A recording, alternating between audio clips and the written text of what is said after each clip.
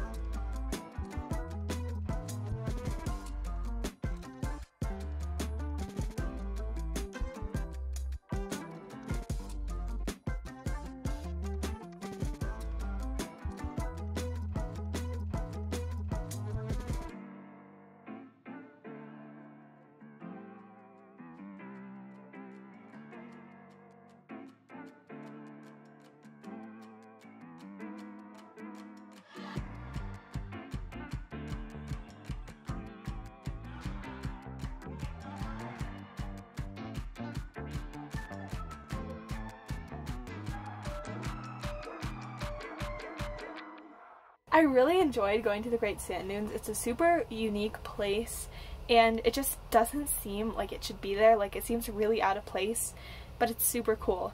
So um, when you're driving towards it, you can see it for like like an hour I think of the drive from at least where we came from and it's just super cool to see how small the dunes look and then just watch them grow as you get closer. Um, so I'm going to give you guys some of my tips for getting in there. Um, I know like National parks have been a lot busier this year, so my first recommendation is just to get there early to get in, just like when the gates open is really great to get in right at the opening time because parking lots fill up and stuff like that. Also, another reason to get there early is because the sand gets really hot. So if you want to go up the dunes at all, then you gotta be careful. I'd say don't leave too late in the morning because it does start to get pretty hot out there. We left just a few minutes after the park opened and got up the dunes and out and the sand was just starting to get too hot when we got out. Um, I think it took us about an hour to climb up the dunes. I think the dunes are about 800 feet tall and you start at around 9,000 feet so it's kind of high especially for someone like me who is used to living in the east where it's like a lot lower elevation, although I have been in Colorado for over a week now. Another recommendation that I just thought of is to bring like tall socks with you um, just in case you're going later in the day or you're afraid that the sand is going to get too warm because once it does, if you put on socks, it makes it a lot more bearable. I know it sounds kind of gross to wear socks while you're walking in sand, but it is really helpful and I did walk like barefoot all the way up Um, but I think I put my socks on pretty near the top just because it was getting kind of warm. So also like wear a hat, sunglasses, sunscreen because it is like very very exposed. There's no shade out there on the dunes. So yeah, I would definitely recommend going to Great Sand Dunes National Park. Of course, it made an impression on me when I was younger because I suggested that we go back this trip and it was really great, so I would definitely recommend going there. I hope you guys enjoyed this vlog. Make sure to follow me on all social media at Rosie Revolts and check out my Etsy shop also at Rosie Revolts and my book at GetOutdoorsBook.com and I will see you guys later. Bye!